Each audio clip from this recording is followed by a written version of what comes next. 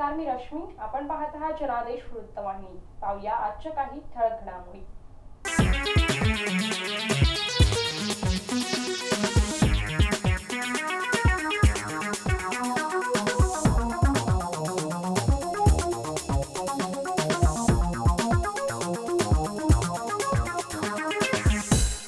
हज यात्रेस जाणाऱ्या यात्रेकरूंना उत्तम उत्तम सोयी सुविधा उपलब्ध करून देण्याकरिता आपले मंत्रालय कटिबद्ध असल्याची ग्वाही केंद्रीय अल्पसंख्याक मंत्री मुख्तार अब्बास नक्वी यांनी दिले मुंबईत all India Haj Umrah tour organisers association आयोजित बैठकीत त्यांनी ही माहिती दिली मुंबईत इस्लाम जिमखाना येथे आयोजित All India Haj Umrah Tour Organisers असोसिएशनच्या बैठकीत केंद्रीय अल्पसंख्याक मंत्री अब्बास नक्वी बोलत होते.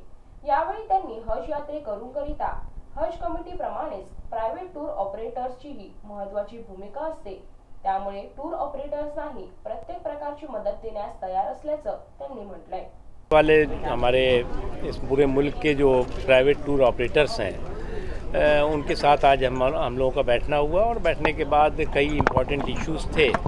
जिन इश्यूज़ के बारे में हम लोगों ने आपस में डिस्कस किया और डिस्कस करके जो उनकी दिक्कतें हैं, उस दिक्कतों को हमने सुना और समझा। और जो चीज़ उनके सुझाव थे उसके बेटरमेंट के लिए, बेहतरी के लिए, उसके बारे में हम लोगों ने बातचीत की और हमें पूरी उम्मीद है कि जो हज 2017 होगा, उसमें और बेहतर तरीके से और अच्छी तरीके से हज कमेटी ऑफ़ इंडिया और उसके बाद जो प्राइवेट टूर ऑपरेटर्स हैं, वो मिल करके जो हिंदुस्तान से जाने वाले हाजी हजरात हैं, उनको बेहतर तरीके से तमाम तरह की सहूलियतें मुहैया करा कि सर्विस टैक्स के बारे में जो प्राइवेट टूर ऑपरेटर्स के ज़रिए जो हाजी हजरात जाते हैं, उनके बारे में बात आई है।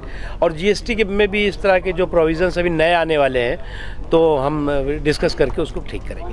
इस्लाम जिमखाना येथे आयोजित या बैठकीत असोसिएशनचे अध्यक्ष इब्राहिम कुलसावाला उपाध्यक्ष शौकत तांबोली महाराष्ट्र राज्य हज कमिटीचे अध्यक्ष इब्राहिम शेख भाईजान यांच्यासह इतर मान्यवर उपस्थित होते.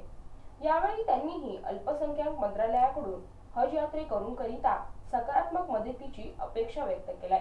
जिस तरह से उन्होंने जो आके हमारे इनविटेशन पे पहले ही उसमें फुर्सत में आके जो हमारे को जो यहाँ पे कॉन्फ्रेंस में हाज़िरी दी है तो हम उनसे अच्छी उम्मीद रखते हैं और हमें उम्मीद है कि ये हाजियों के लिए एक अच्छा से स्टेप हाजियों की सहूलत के लिए क्योंकि हम भी करते हैं हाजियों की सहूलत के लिए हज कमेटी भी करती है हाजियों के वेलफेयर के लिए।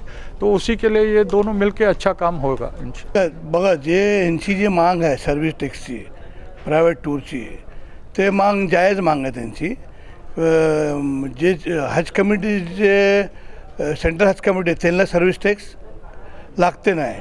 हेच यांची पण मागणी आहे. ते पण हाजी आहे हे पण हाजी आहे. तर यांची मांग मागणी जी आहे ते त्यांनी आपले जे मुख्तार अब्बास साहेब यांनी ऐकून घेतलेलं आहे. ते आता सेंट्रलचे जो मिनिस्टर आहे आपले फायनान्स मिनिस्टर त्यांनी त्यां त्यांची संगती वार्ता करून मग ते मला असं लागतं आहे की ते जे पी प्रायव्हेट टूरची जे पण मागणी आहे ते ते अलाव करणार. सध्या काय झालेलं आहे की स मागील सरकारने आणि आता ह्या सुद्धा सरकारने आम्ही वेळोवेळी त्यांना मागणी केलेली आहे की हा जो काय अधिभार आहे सर्व्हिसच्या टॅक्सचा तर तो अधिभार प्रायव्हेट टूर मार्फत जाणाऱ्या हा हज यात्रेकरू लागा नाही पाहिजे त्यांना लावा नाही पाहिजेत तो दहा बारा हजारच्या आसपास वर जातो आहे पंधरा हजारपर्यंत जातो आहे तो गोरगरीब जनता हज टूर मार्फत जाणाऱ्या सर्व श्रीमंत मुस्लिम असतात असं नाही आहे की जे लोक आजारी असतात जे त्या ठिकाणी जाऊन ज्यांना सवलती पसंत करतात किंवा ज्यांना आता पाच वर्ष वाट पाहायची नाही आहे जे पेन्शन भेटल्याबरोबर रिटायरमेंट झाल्यानंतर ताबडतोब हज यात्रेला जाऊन त्यांनासुद्धा हा दहा बारा हजारचा एक नुकसान पोचतं त्या सु- दृष्टीने आम्ही मिनिस्टर साहेबांना आज त्यांना रिक्वेस्ट केलेली आहे की तो फायनान्स मिनिस्टरशी बोलून ते अधिभार काढून घ्यावा. कॅमेरामॅन मोहनसह सुरेश पाटील जनादेश वृत्तवाहिनी वृत्तवाहिनीकरिता आपल्या भागात कोणतीही अनुचित घटना घडली असल्यास अथवा कोणतीही समस्या असल्यास आम्हासही जरूर कळवा. आम्ही ती आमच्या वृत्तवाहिनीवर जरूर प्रदर्शित करू. आमचा पत्ता एकशे सत्त्याण्णव दोन लाख राव स्टेशन रोड कोवंडी पूर्व मुंबई चार शून्य शून्य शून्य आठ आठ. आमचा दूरध्वनी क्रमांक सहा पाच तीन तीन एक दोन एक सहा किंवा नऊ तीन दोन दोन आठ सात शून्य एक पाच तीन. तर या होत्या आजच्या काही ठळक घडामोडी पुन्हा भेटूया याच वेळी याच ठिकाणी. आपली बातमी आपली वाहिनी पाहत रहा जनादेश वृत्तवाहिनी. नमस्कार.